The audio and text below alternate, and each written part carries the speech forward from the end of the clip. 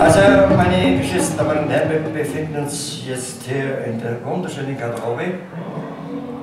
Ich trete schon einige Jahre bei Thomasberg auf, aber ich weiß bis heute noch nicht, wo bin ich engagiert. Bin ich für die, oder für was? Für die Bühne oder für die Garderobe? Ich weiß es noch nicht. Ich sitze schon stundenlang in der Garderobe, die anderen spielen auf der Bühne. Ich weiß es nicht. Bin ich zu hässlich? Nicht. Ich frage Sie, soll ich auf der Bühne? Dann komme ich. Ich bitte darum.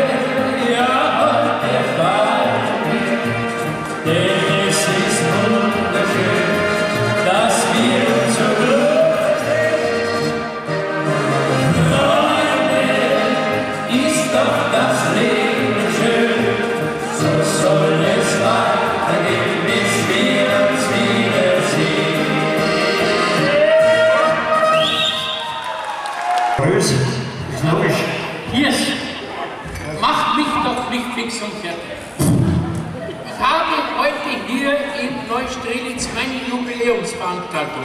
Und ich will überhaupt wissen, du warst doch gar nicht eingeladen. Warum bist du da? Ich bin ein Fan. Und, und, Von wem bist du ein Fan? Sadanberger. Von Er steht neben mir. Von, wem- von, was? Er steht bereits neben mir. Wie, wie kommst du auf Sadanberg? Na bitte, schau dich an. Heute, heute ist er rasiert. Na, aber trotzdem, es freut mich, hier auf der Bühne zu stehen. Wunderbar. Hier in, wo sind wir überhaupt? Hier ist jetzt was auf. Neues. Na, na, wie? Neustaulitz. Neustaunitz. Also bitte, die Versprecher müssen mich entschuldigen, obwohl er sich eigens für diese Veranstaltung eine, eine Sprecherschule gesucht hat. Leider Gottes nichts geworden. Mein Lehrer war Karl Moik. Also eins sage ich dir, dass wir uns gleich mal richtig verstehen. Wir sind heute in Neustrelitz. Aha, und wenn du Neustrelitz. schon zu spät kommst Ja. und auf die Bühne raufkommst, Ja. dann will ich dich bitten, dass du zuerst mal deinen Chef begrüßt. An meinem Chef. Jawohl. Und wo ist der Chef? Der. Chef steht neben dir und das sind hier meine Gäste. Und wenn du hier auf die Bühne kommst, dann sagst du zuerst Hirs, Grüß Gott, meine sehr verehrten oder sehr geschätzten Damen und Herren. Und nicht so wie du, meine damischen Herren, das sind doch keine damischen Herren, das sind sehr geehrte Damen und Herren. Meine sehr geschätzten Damen und Herren. So. Es freut mich wahnsinnig, wieder mal auf der Bühne zu stehen mit meinem zukünftigen Ex-Freund, Was hast du jetzt gesagt? mit meinem, mit meinem richtigen Freund, also der Thomas und ich, wir sind wirklich schon zig, zig Jahre gute Freunde. Wie lange sagt man? Ja, wir sind bereits 75 Jahre, sind wir, sind wir wirklich dick, sind wir wirklich dicke Freunde. Also ich bin sein Freund und er ist dick. Aber bitte, Eins sage ich dir, ich lasse mir das nicht mehr länger bieten. Warum, warum beleidigst du meinen, meinen wirklichen Freund, meinen Kriegskameraden Karl? Moik? Karl Moik? Du hast gerade gesagt, Karl, Karl, die Versprecher müssen wir entschuldigen, äh, du hast mit Karl Moik eine Gespräch. Du musst froh sein, du warst nämlich einer der einzigen, der, also ich war auch dabei, aber am Silvesterstadel. War ich dabei, ja? Ja, und da hat der Moik ganz klar gesagt, in allen Zeitungen, er lädt nur seine Freunde ein. Und da wundert es mich, Ich bin, dass du auch dabei warst. ich war dabei. Ja, und, und dann würde mich noch interessieren, wie bist du da in diese Sendung hineingekommen? Der eine Herr hat gesagt, du bist dem Moik in den Arsch gekrochen, auf Deutsch. Was? Also ich bin bei, beim Karl-Meuch in den Arsch gekrochen. Das hat der Herr da unten gesagt, der mit den grünen Ja, der hat aber nicht ganz unrecht. Ja? Ich wollte bei dieser Sendung Karl Meuch in den Arsch kriegen. Warum hast du es dann nicht gemacht? Es ging nicht, es steckte schon Thomas Berger drin.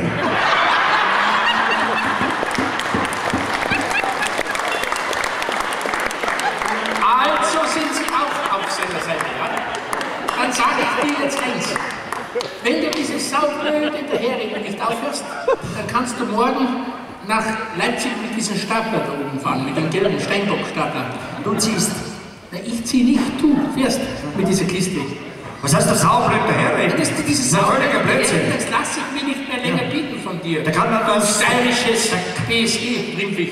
Irgendwie. Wa- Was ist zum Beispiel eine, eine, zum Beispiel eine bayerische Frau ohne BC? Weiß ich nicht. Eine ganz normale Kuh? Aber bitte, Thomas, Thomas und ich sind wirklich gute Freunde, wirklich. Und, und, und, und, er ist ein richtiger Bayer. Ich hab dir gesagt, das Saublöde daherreden lasse ich mir nicht mehr länger bieten. Da kannst du allein. Was heißt- Nein, lass mich nicht. Was heißt das saublödes Daherreden? Da kann ich was dazu sagen. Durch dieses saublöde Daherreden bist du stinkreich geworden.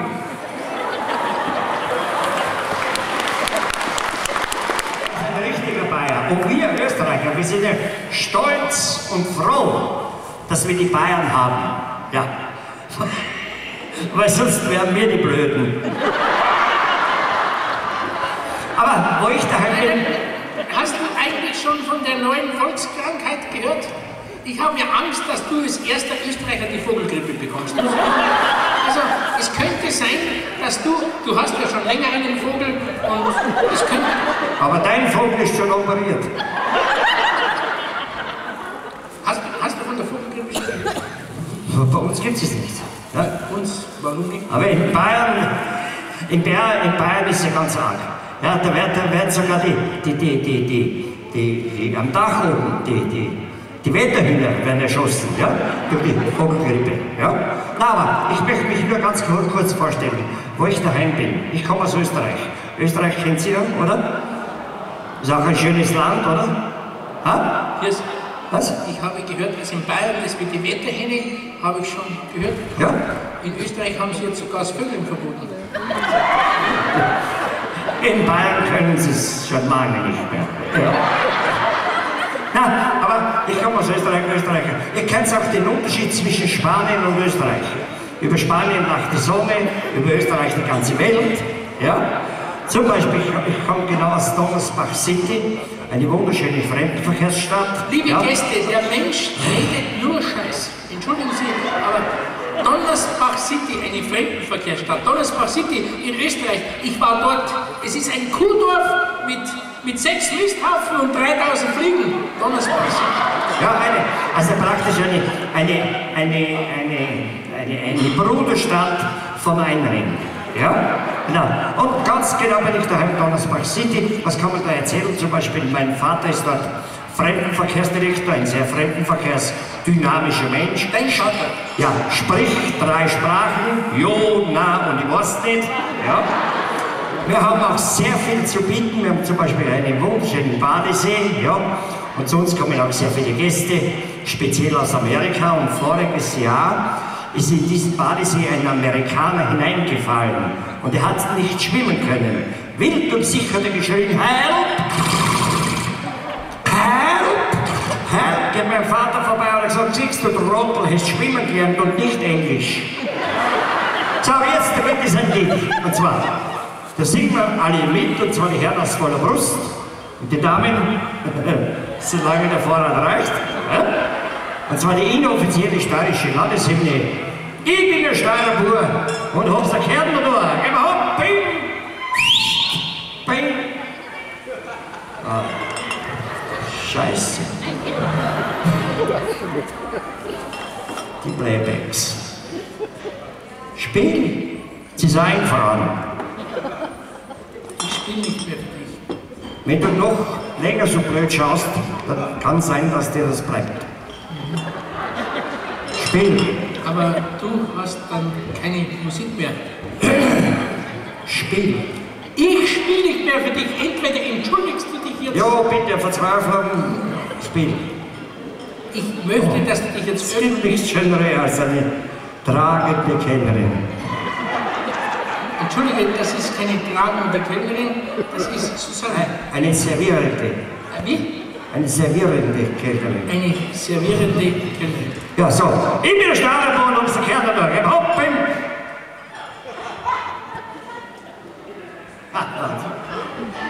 Tschüss. Da, Hirs, ich bitte dich,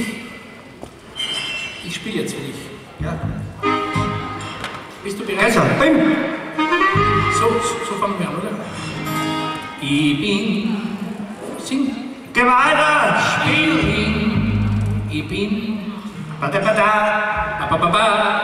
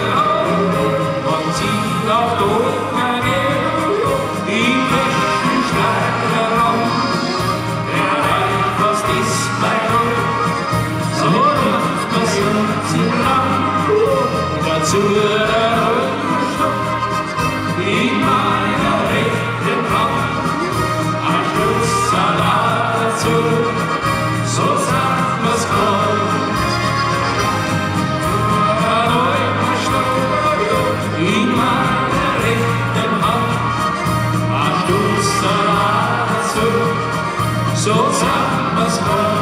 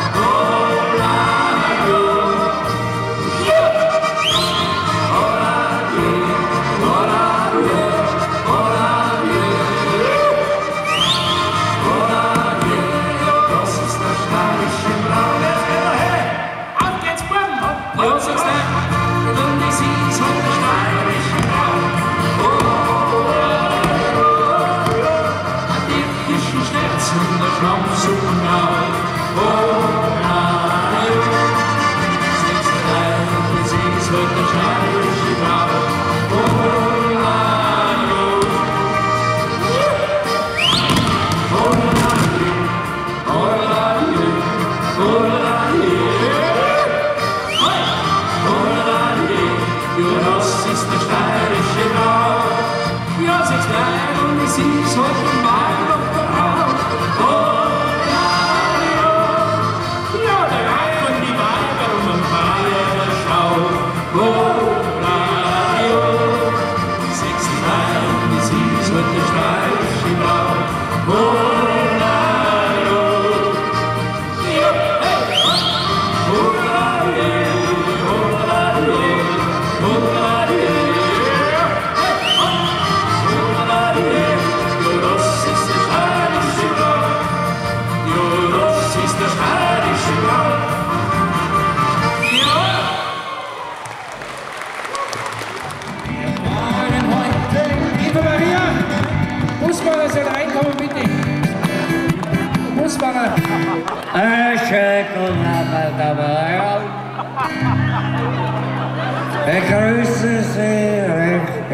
hier auf der Bühne. Wünsche einen schönen Nachmittag. Meier, lieber Hirs, ich habe heute hier mit meinen Stammgästen die Jubiläumsfeier von Roberti Reisen. Das ist mir wurscht. Du stehst jetzt nicht auf dem Programm. Was? Nein, aber wie schaust denn du aus? Ja, und? Was hast denn du da an? Ja, Dienstbegleitung. Was Dienstbegleitung? Ja, das Busfahrer. Als Busfahrer. Dienstbegleitung von? Ich war heute beim Stolper. Wo warst du heute? Beim Stolper. Erstens heißt der Stolper und nicht Stolper. Der ist zwar vor einigen Monaten gestolpert, aber heißt du der Stolper. Ja, okay, Stolper. Ja. Und wie, wie, wie stellst du das jetzt da vor auf der Bühne? Ja, ein ich bin der Busfahrer und heute fahren wir über Wien. Ne? Du bist der Busfahrer von welcher Firma? Burger. Und du warst heute in München beim, Beim Stolper. Stolper, ja. Und was hat der Herr Stolper gesagt, wie er dich so gesehen hat in diesem Aufzug? Oh! Was hat der Herr Stolper gesagt, wie du gesagt hast, du arbeitest bei Ruperti Reisen? Hast du ihm auch gesagt, dass wir nur Doppelstockbusse haben? Ja, stopp. Ja, Stoppeltag mit zwei Decken.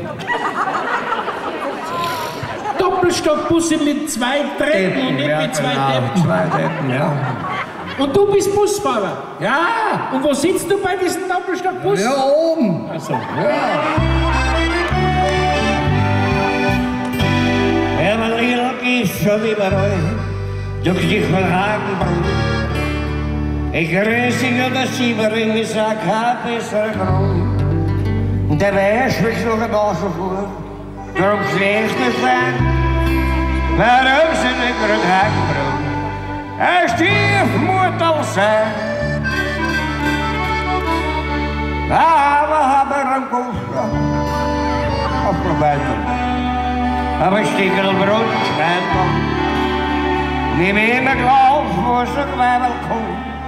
Es war aber aus, noch kein Brot. Der gibt's kein raus, kann sie nieren. Der braucht er sich nicht genieren. Der Bier schickt uns ein Glas allein. Von der Jugend ein Bruder. Schei hat die Kinder auf und Meute weg. Ich bin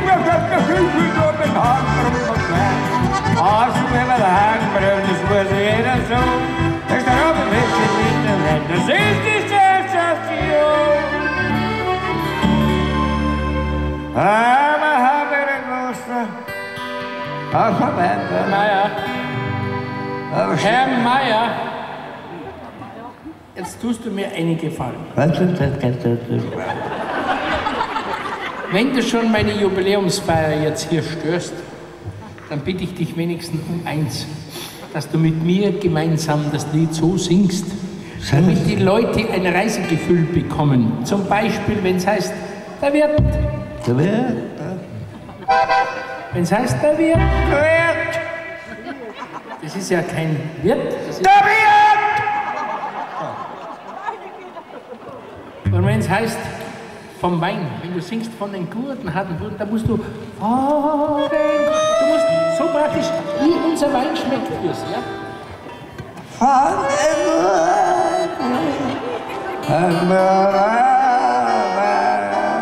Du singst so, als wie wenn du dein 16. Gebiss verloren hast. Und überhaupt wundert es mich, wenn du singst, von den Guten. Ein Bruder. Warum, warum ziehst du dann die Arschbacken so zusammen? Erklär mir das. Erklär mir das bitte. Sag mir, warum du die Arschbacken zusammenziehst. Weil ich eine Drecksau bin. Ja? Okay?